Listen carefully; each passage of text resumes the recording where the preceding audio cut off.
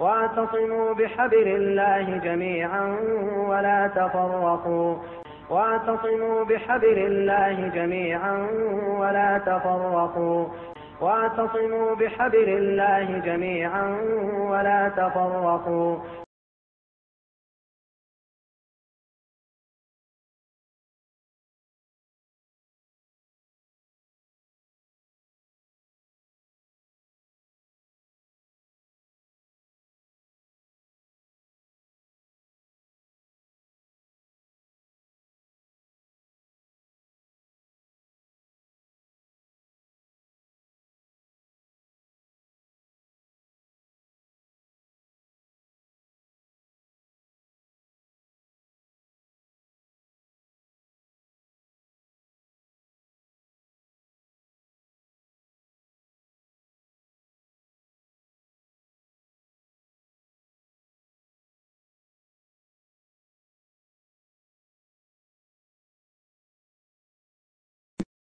بالنسبة للقول بتحريف القرآن.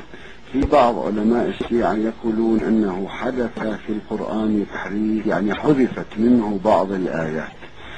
ويقولون أنه في آيات وضعت في غير موضعها. بالنسبة لوضع آيات في غير موضعها أكثر علماء الشيعة يقولون. أكثر علماء الشيعة يقولون. أكثر علماء الشيعة يقولون. إذا نستطيع أن نقول بوضوح هناك قلة من علماء الشيعة يقولون بأنه أنقصت آيات من القرآن. أنقصت آيات من القرآن. أنقصت آيات من القرآن. عن أبي عبد الله عليه السلام يقول أنزل الله عز وجل على النبي صلى الله عليه وآله وسلم بكراء الغميم وغدير خم يا أيها الرسول بلغ ما أنزل إليك من ربك في علي فان لم تفعل فما بلغت رسالته والله يعصمك من الناس. يا أيها الرسول بلغ ما أنزل إليك من ربك في علي. يا أيها الرسول بلغ ما أنزل إليك من ربك في علي. يا أيها الرسول بلغ ما أنزل إليك من ربك في علي. ولكن لكي نجدد العهد بالولاية لسيدي ومولاي أمير المؤمنين علي بن أبي طالب سلام الله عليه.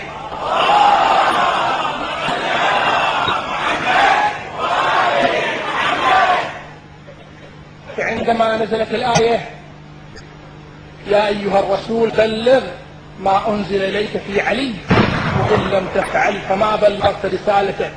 والله يعصمك من الناس.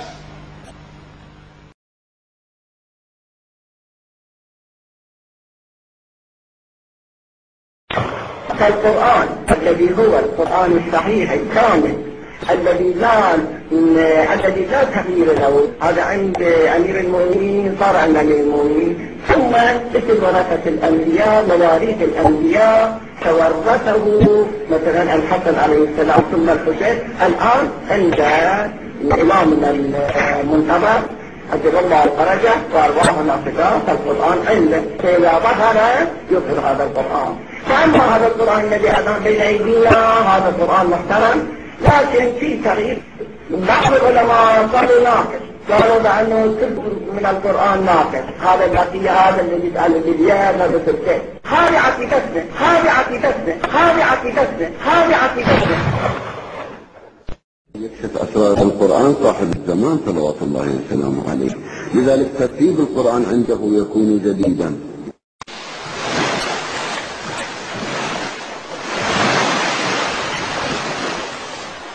في روايات أهل البيت عندنا صحيفة فاطمة وهي غير مصحف فاطمة. وعندنا كذلك لوح فاطمة وهو غير مصحف فاطمة وغير صحيفة فاطمة. وعندنا في الروايات مصحف فاطمة الذي نزل من السماء. وعندنا في الروايات مصحف فاطمة الذي كتبه أمير المؤمنين.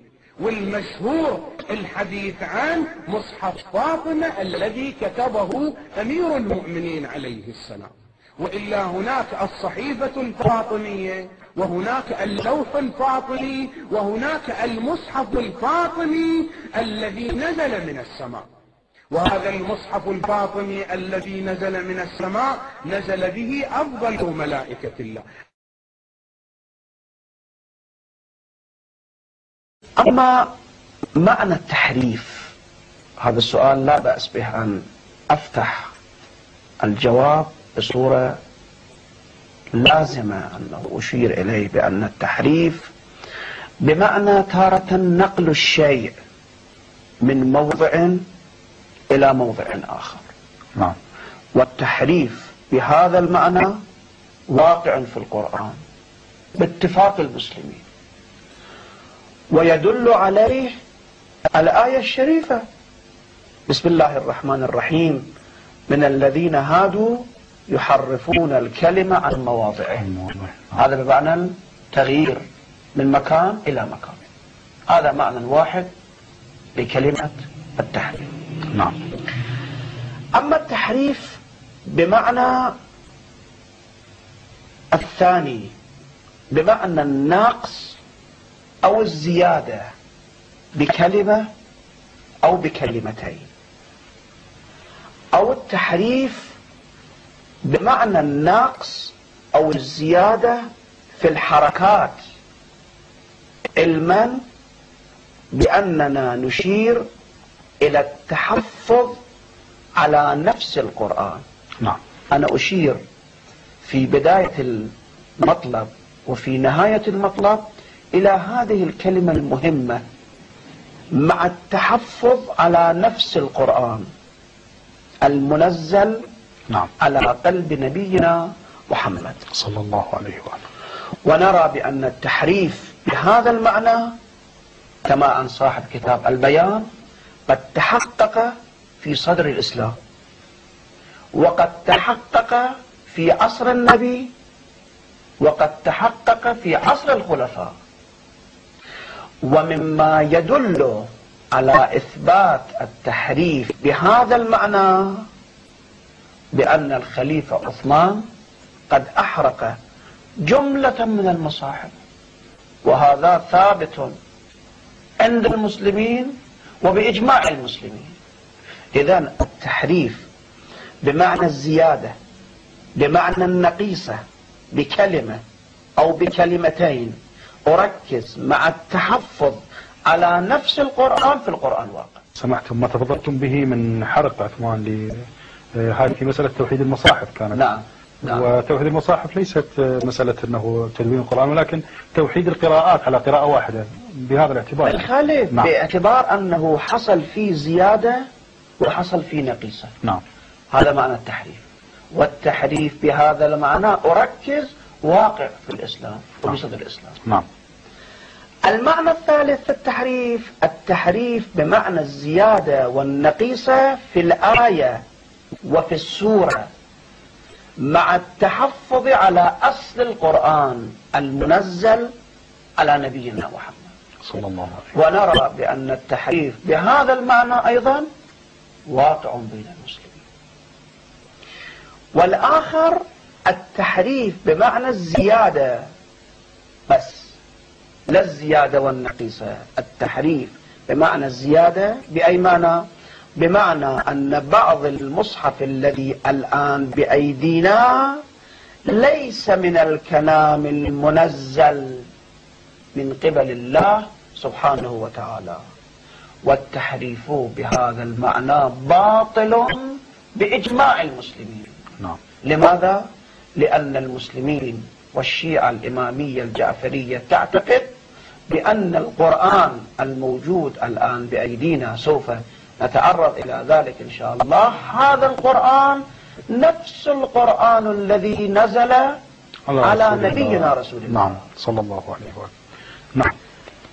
والمعنى الثالث للتح... والمعنى الرابع للتحريف أو الخامس للتحريف التحريف بمعنى النقيصة السابق قلنا التحريف بمعنى الزيادة. نعم. الآن نقول لا. التحريف بمعنى النقيصة بأي معنى؟ بمعنى أن المصحف الذي الآن بأيدينا لا يشتمل على جميع القرآن الذي نزل من السماء. بمعنى أنه قد ضاع جزء من هذا القرآن. والتحريف بهذا المعنى الأخير قد وقع الخلاف فيه بين الشيعة والسنة. نعم. هذا إجمال ما يشير إليه صاحب البيان حول معاني التحريف إنا نحن نزلنا الذكر وإنا له لحافظون.